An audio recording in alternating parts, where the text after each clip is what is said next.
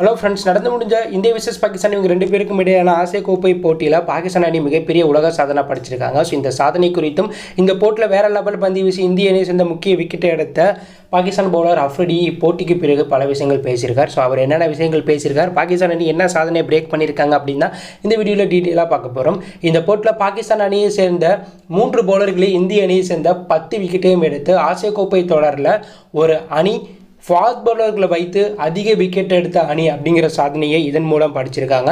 பாகிஸ்தான் நாட்டை சேர்ந்த அஃப்ரிடி பத்தோரு வீசி ரெண்டு மேடுநூறு போட்டு முப்பத்தைந்து ரன்களை வாரி கொடுத்து நான்கு முக்கிய விக்கெட்டும் நசீம் ஷா மற்றும் ஹரி ரஃபட் மூன்று மூன்று விக்கெட் எடுத்து பாகிஸ்தான் அணியை சேர்ந்த மூன்று ஃபாஸ்ட் பவுலர்கள் இந்திய அணியை சேர்ந்த பட்டு விக்கெட்டையும் எடுத்து சாதனை படிச்சிருக்காங்க. அதுலேயும் இந்த போட்டியில் அஃப்ரிடி ரோஹித் சர்மா விராட் கோலி ஹர்திக் பாண்டியா மற்றும் ஜடேஜான்னு நான்கு முக்கிய விக்கெட்டை அடுத்து அடுத்து எடுத்து கேம் சேஞ்சராக மாறியிருக்கார். ஸோ இந்த மேட்ச்சில் மட்டும் பாகிஸ்தான் ஜெயிச்சிருந்தா அஃப்ரிடிக்கு தான் man of the match award கொடுத்துருப்பாங்க. அந்த அளவுக்கு வேற லெவலில் இந்திய பேட்ஸ்மேன்களை மிரட்டிட்டார் அஃப்ரிடி ஸோ இந்த போட்டிக்கு பிறகு பேசிய அஃப்ரிடி எங்கள் பயிற்சியாளர் மிக்கி ஆத்தர் எப்போதுமே சொல்லுவார் ஃபாஸ்ட் பவுலர்கள் நினைச்சா போட்டியை மாற்றலாம் ஃபாஸ்ட் பவுலர்கள் கையில் தான் வெற்றியே இருக்குன்னு.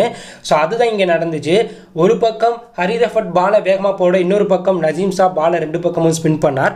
நானும் என்னுடைய பெஸ்ட்டை கொடுத்தேன். ஸோ அதனால தான் இந்திய அணியை மிரட்டி நாங்கள் பத்து விக்கெட்டையும் எடுத்து சாதனை படிச்சிருக்கோம்.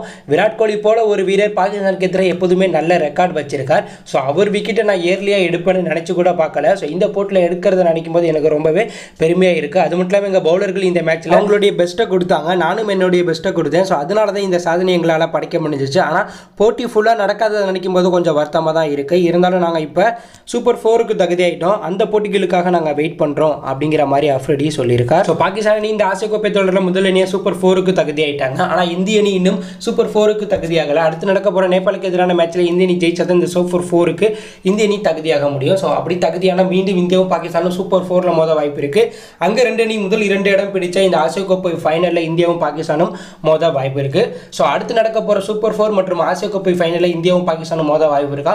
அஃப்ரி மற்றும் பாகிஸ்தான் அணியோட இந்த மிரட்டலான சாதையை பற்றி நீங்கள் என்ன நினைக்கிறீங்க? அப்படிங்கிற கருத்தை கமெண்ட் லீவ் பண்ணுங்கள் மறக்காமல் நம்ம சேனலை சப்ஸ்கிரைப் பண்ணி ஃபாலோ பண்ணுங்கள் தேங்க்யூ ஃபார் வாட்சிங்